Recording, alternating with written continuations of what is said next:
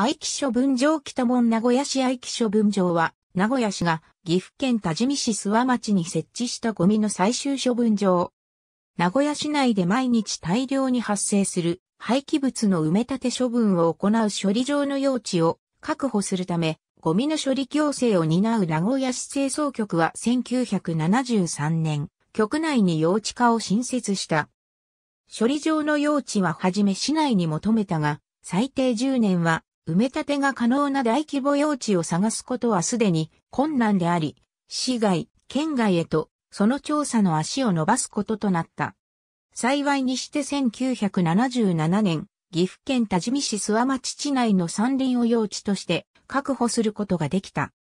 翌年4月には地元自治体である多治見市との協議が開始され、1978年10月21日には順調に諏訪町内会との協定調印にこぎつけることができた。1979年2月1日には名古屋市と共に多治見市のゴミも受け入れる処理場として日間で廃棄物処理協定が締結された。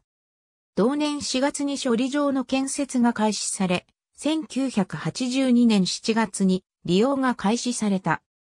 処分場の面積は109ヘクタールであったが、埋め立て用地はこのうちの約30ヘクタールに限り、さらに約10ヘクタールを公害防止施設や管理棟用地とすることとし、残りの用地はすべて緑地帯として残すこととなった。